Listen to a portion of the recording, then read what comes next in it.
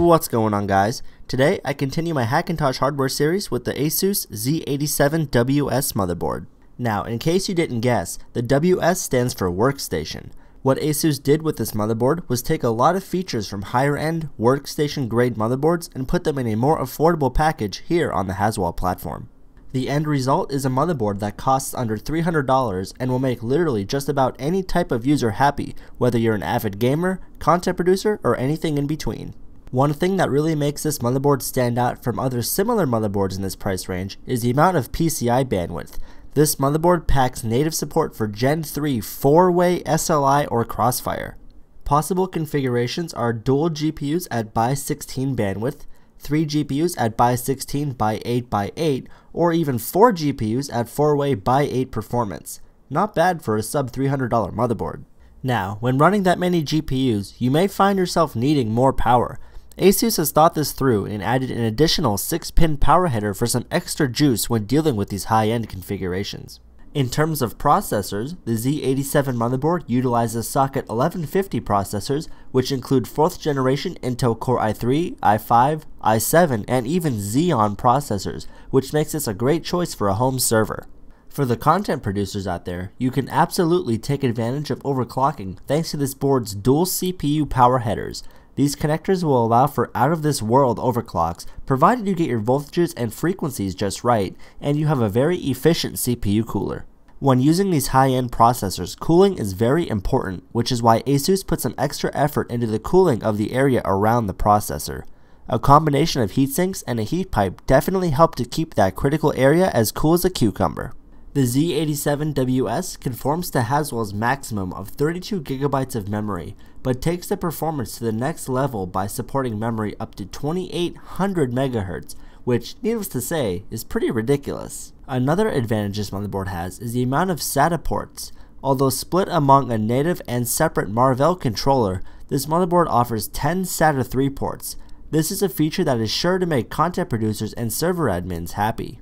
Getting audio up and running will be no problem as this board uses the ALC 1150 chipset. A simple kernel extension installation is all it takes to have functional audio. Some other features found here are two USB 2.0 headers, an internal USB connection, a single USB 3.0 header, both debug and temperature LEDs, onboard power and reset buttons, and a total of five 4-pin fan headers. There really is a lot to love here. Taking a quick look at the rear I.O., one thing to note is that we have a pretty unique display configuration here, which I'll get more into in just a second. From top to bottom, we have a PS2 port, two USB 2.0 ports, two USB 3.0 ports, dual eSATA ports, mini DisplayPort, HDMI, and full-size DisplayPort video outputs, optical audio, dual gigabit Ethernet ports, two more USB 2.0 and 3.0 ports, as well as the usual audio outputs. One thing you won't find built in here is DVI, something to keep in mind.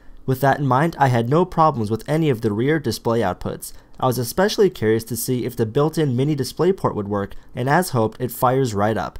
The HDMI and full-size DisplayPort also work great, and for those who like to use dual display setups, you can even use any combination of the three ports.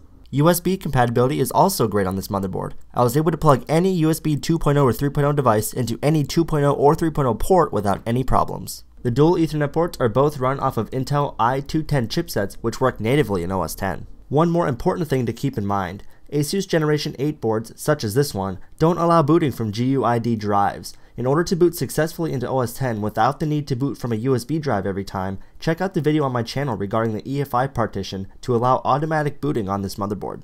At the end of the day, I can absolutely recommend the Asus Z87WS for your Hackintosh. The EFI fix can be kind of a hassle initially, but once the system is up and running, the performance is fantastic. The amount of PCI bandwidth here is impressive for the price range and is something that will keep power users happy without needing to invest in the more expensive X79 platform. The cooling system, number of SATA ports, and I.O. compatibility also make this motherboard a great choice. Down in the video description, I've included a link to a MultiBeast file which has the configuration you'll need to get the machine up and running with the exception of that EFI partition work I mentioned earlier. Be sure to let me know what you think of the Asus Z87WS down below in the comments. If you like this video, prove it to me by just destroying that like button. I'm at CPU Kid on Twitter. Also be sure to check out RocheTechnology.com and I hope to see you guys back here very soon.